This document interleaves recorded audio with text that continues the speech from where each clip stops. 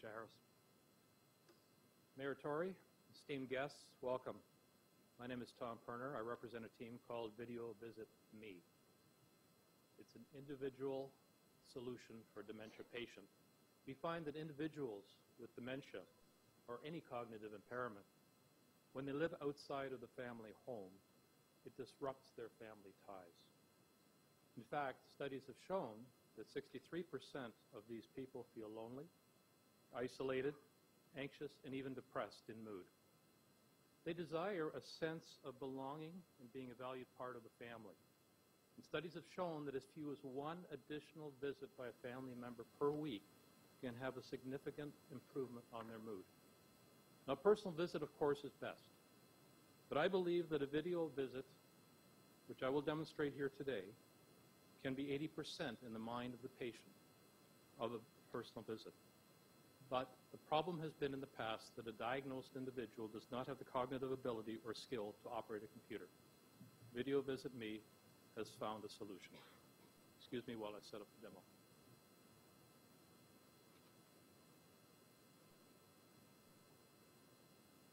What I'm trying to set up here is imagine you are in a living room watching a movie.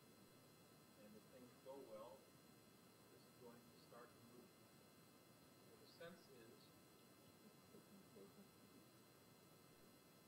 I apologize for the setup, it's a complicated thing to set up. Start a movie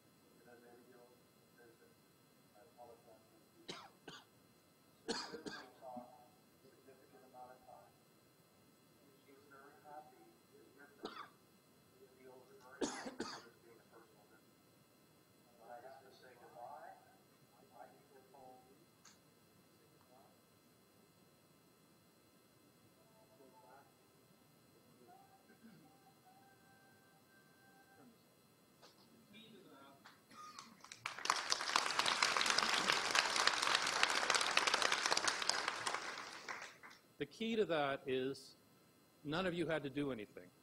And that's the key. No UI is the best UI, in my opinion. The impact of this, in my opinion, is very significant for the individual, certainly, who uh, without a computer typically, without the desire or capability to interact with a computer. And this individual could be certainly a dementia patient, but could be virtually anyone, could be any senior or anybody who doesn't want to be involved.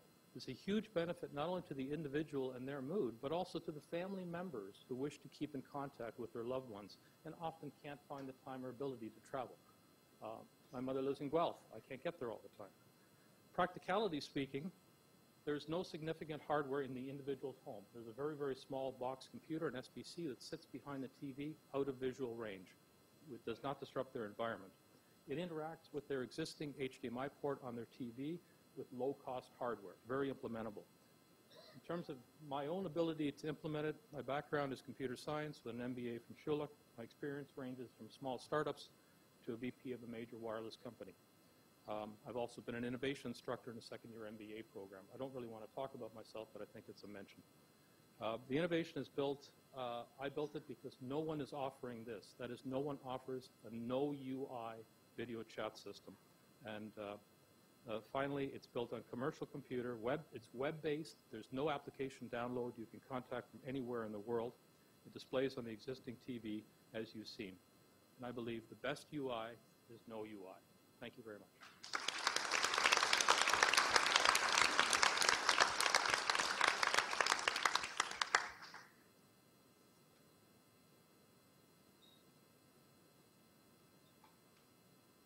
Questions? So, The the part that I missed, uh, how did, in- in your uh, example, how did your uh, mother accept? I I must have missed that. Um, this is a, a poor environment to show that. But first of all, there was, from her point of view, there was an interruption in what she was watching with a screen presentation that says, there's a call.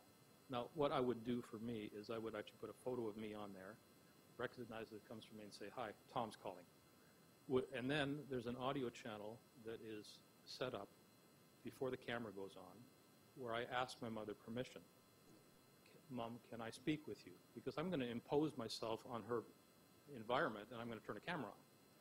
Given the audio approval by her, I click a button on my computer which engages the camera and now she sees me and I see her. Oh, so she, she approves it by, by verbally stating it, uh, so you can hear, you can hear that. Yes, because an audio channel is set up, a two-way audio channel, not a video channel.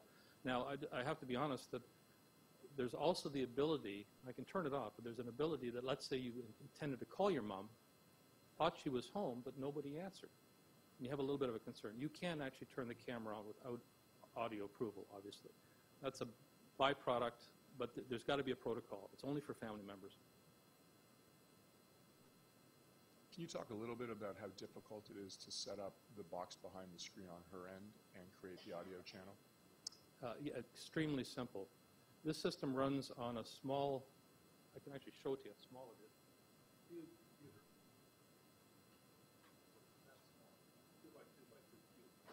Built by a company called in Israel. And it's indicative of the kind of small computers that are, are made available today. It's basically an SBC.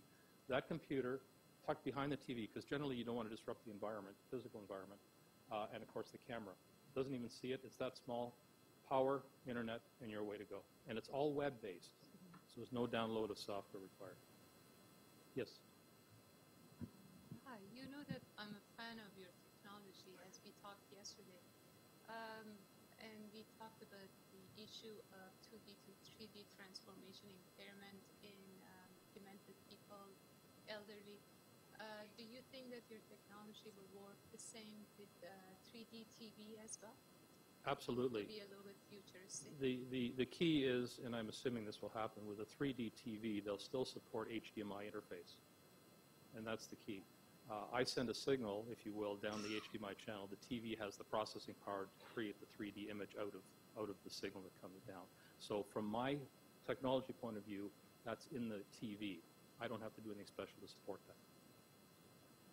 Thanks very much. Thank you very much.